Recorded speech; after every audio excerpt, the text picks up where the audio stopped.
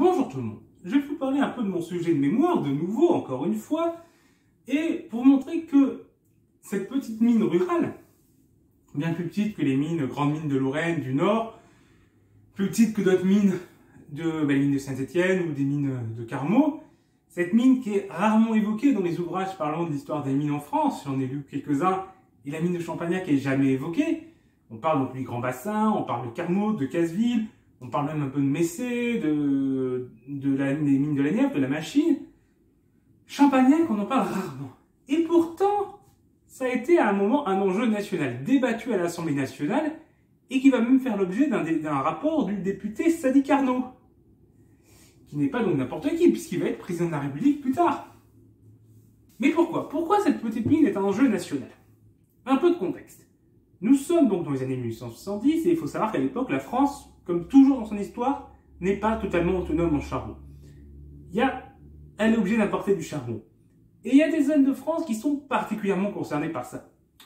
L'Est et le Nord, non. L'Est et le Nord, ils produisent beaucoup de charbon, ça arrive à être à peu près autonome. Le centre, il y a quelques mines aussi, ça va. C'est à l'ouest qu'il y a plus de problèmes. Parce qu'il n'y a quasiment pas de mines de charbon, il va y avoir vraiment un petit truc dans les Landes. Alors, il y avait également d'autres mines de charbon, en Loire-Atlantique, en Dordogne ou ailleurs dans le pays, mais pareil, c'était des mines très petites. C'est des mines qui n'avaient pas plus de quelques milliers de tonnes de production par an, là où par comparaison Champagnac a été au-dessus des 100 000 tonnes dans une grande partie de son histoire. Et euh, pour Carmo, c'était plusieurs centaines de milliers de tonnes. Donc déjà en termes de volume, on n'est pas du tout sur la même échelle. Et clairement, elles n'étaient pas en mesure de, de, fournir de charbon au-delà d'un cercle très local. Et puis ces mines, souvent, ont été en activité pendant des courtes périodes, quelques dizaines d'années, tout au plus.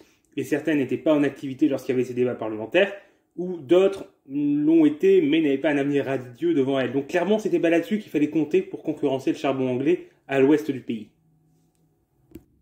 les mines de charbon en France un peu importantes les plus à l'ouest, c'est de Casseville, Carmaux et Champagnac.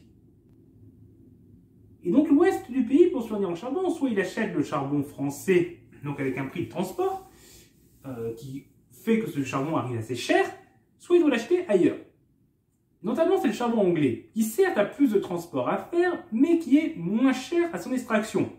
Pour différentes raisons. Déjà parce que les mines de, en Angleterre sont plus modernisées, le pays est en avance sur son industrialisation, donc on a une extraction du charbon qui est plus mécanisée, plus rentable, plus productive, et en plus on a des filons de charbon plus importants, ce qui facilite la mécanisation, ce qui facilite de grandes exploitations qui font des économies d'échelle.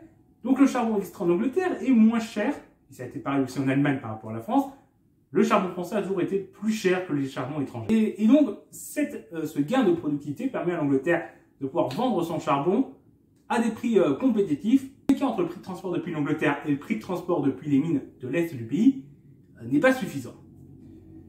Donc à peu près à cette époque, 2 millions de tonnes de charbon chaque année anglais qui arrivent en France. Et ça concerne une quarantaine de départements.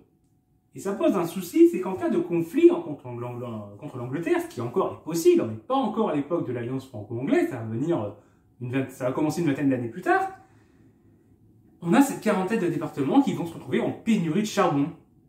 Alors qu'on aura besoin de plus de charbon pour faire tourner l'économie de guerre.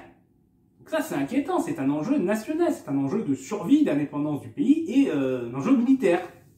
Donc il faut trouver des solutions. Ça, il faut réduire la dépendance de charbon euh, de l'ouest du pays. Alors déjà, il faut augmenter la production de charbon en France, mais il faut aussi améliorer la desserte de charbon vers l'ouest. Et le mieux, c'est de partir des mines qui sont les plus à l'ouest du pays parce que c'est les plus proches. Et c'est de là qu'on pourra faire euh, le transport le moins cher. Et en plus, pour ces mines, l'enjeu est important. Parce que c'est des mines qui peuvent difficilement vendre leur production à l'est, puisqu'il ben, y a toute la production qu'il faut. Au sud, il y a quelques mines, et puis de Casville et Carmaux sont mieux placés pour euh, fournir au sud que Champagnac.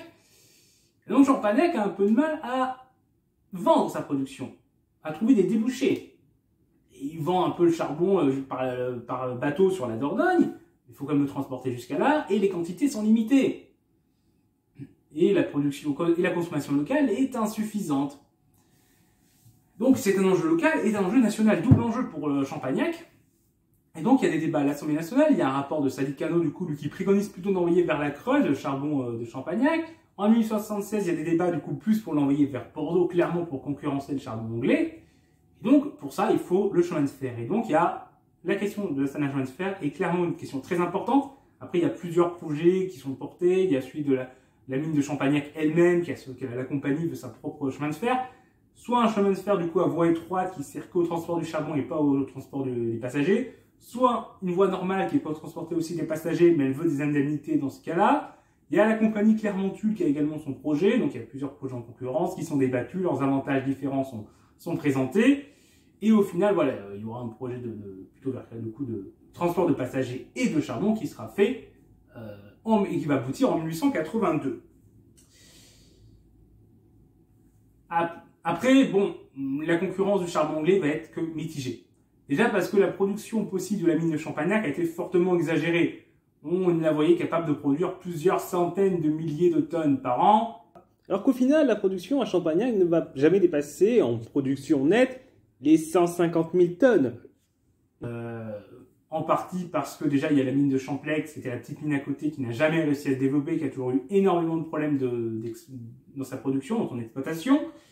Et la mine de Champagnac elle-même ne s'est jamais assez modernisée non plus pour produire autant qu'elle aurait pu. Elle a toujours été en retard sur la modernisation par rapport au reste du pays, qui était lui-même en retard par rapport à d'autres pays. Vous voyez un peu le problème.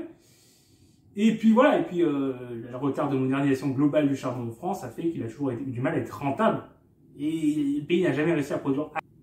Mais si ça n'a pas eu euh, les effets escomptés, bah, ça a été débattu. Ça a été une question nationale. Et voir un, rapport d'un ancien président, enfin d'un futur président de la République euh, sur la, petite mine que j'utilise, c'est un truc un peu surprenant qui fait plaisir. Et on peut voir aussi une autre figure nationale qui en, a parlé, même si là c'est moins étonnant, c'est Jean Jaurès en 1895, lors de la grande grève à Champagnac, euh, qui va en parler à l'Assemblée nationale, qui va en parler dans son journal. Voilà, que Jean Jaurès parle de mineurs en grève, c'est quelque chose qui n'est absolument pas étonnant.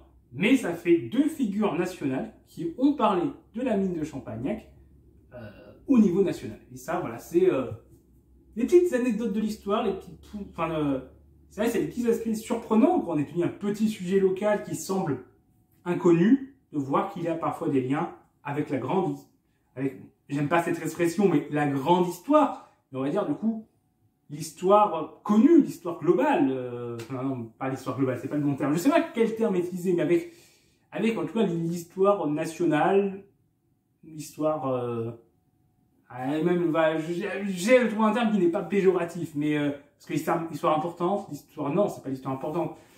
Euh, tout un lien avec une histoire moins locale, une histoire plus connue nationalement, plus connue du grand public. Et, ces liens sont intéressants à faire aussi, du coup, de, voir que cette petite mine a fait son importance. Voilà, c'était un petit petite chose que j'ai découvert, dont j'avais envie de vous parler un peu comme ça à l'improviste. Donc j'espère que ça vous a intéressé, que vous avez aussi appris un peu des choses sur l'économie du charbon en France, euh, notamment bah, le fait que l'ouest du pays avait besoin du charbon anglais, et on a toujours eu besoin du charbon anglais. Euh, voilà, mais c'est terminé pour cette vidéo, j'espère que ça vous a intéressé. Si c'est le cas, n'hésitez pas à aimer la vidéo et à la partager, ça nous aide beaucoup. Au revoir tout le monde